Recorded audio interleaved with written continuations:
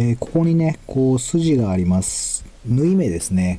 これももう少ししっかりと彫り込んでおきます。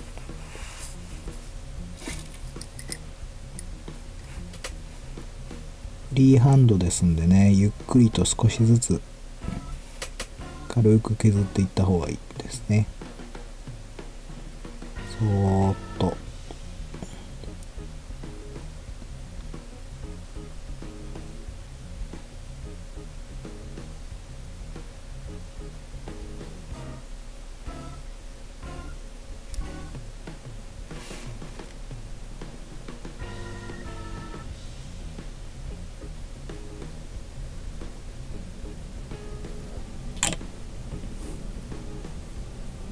こんな感じですね。えー、ここの部分ですね。今ほとんどディテールがない状況なんですけれども、本来はこういう風にポケットがあって、しっかり、えー、ここなんかみたいにね、しっかりこういう風になってるんですけれども、これが、えー、抜きの都合上、型抜きの都合上存在しないので、ここをちゃんと掘り込んであげるということをしたいと思います。えー、使う工具はこれですね。モデリングチゼルえー、のみですね、えー、三角刀になります。こういう風にこういう風に掘っていく類のもんですね。ここですかね。この辺ですね。こんな感じにしようっていう当たりをつけます。この先でカリカリやっても割と、えー、筋彫りみたいなのができるのでここでこうカリカリっと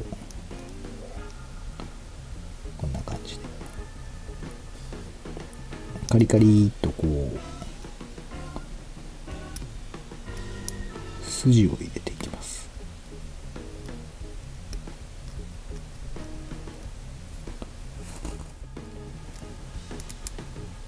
こうだんだんほじほじと少しずつ削っていくと形が出てきますのでそしたらですね、えー、ちょっと刃を立てましてこうですねこう入れるとこの三角刀ってこういう風に入れると刃がぐっと入るのでそれで彫っていきます。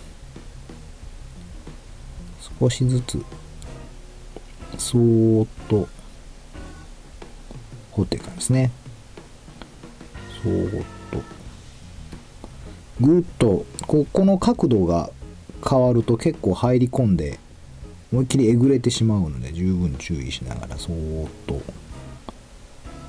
掘っていきます。入りすぎた。ちょっと引っかかったりするとねなんかでグイッと入るんですけど。まあ慎重にここは。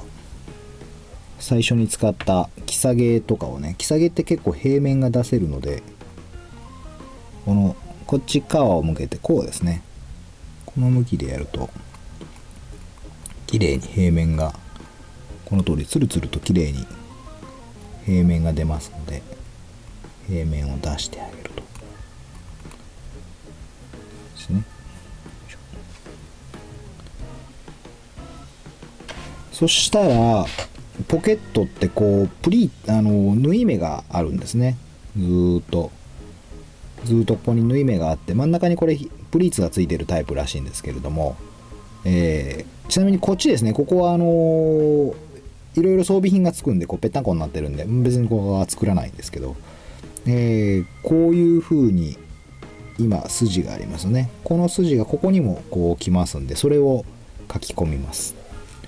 でえっ、ー、といろんなツールで書き込めるんですけど引き下げの先が結構ね細いのでやってもいいですしデザインナイフの先っちょでもいけるかなと思うんですけどもうフリーハンドですんで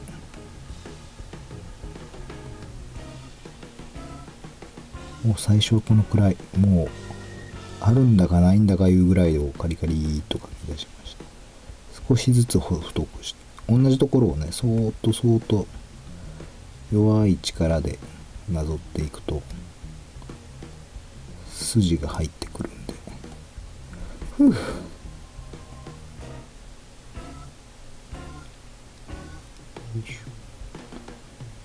少しずつ筋が入っていい感じです。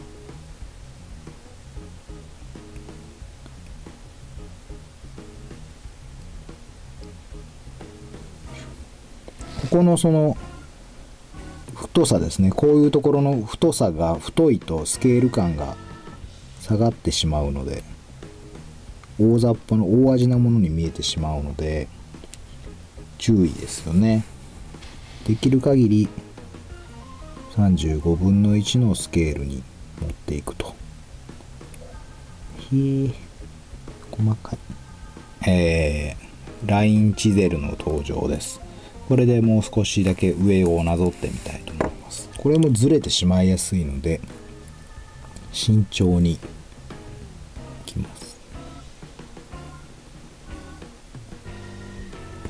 もう引っ回転だか引っ回転ないんだか分かんないぐらいでもう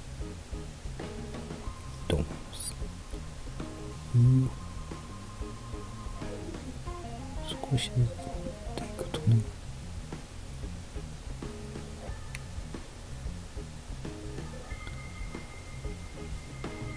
少しずつ掘っていくとだんだんとこうしっかり入っていくようになりますね。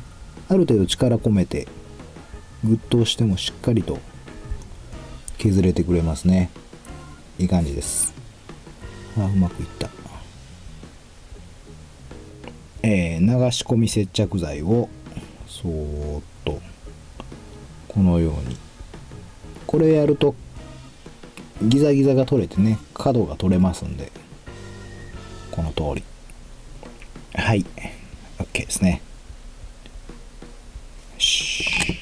はいこれで綺麗にポケットが作れました。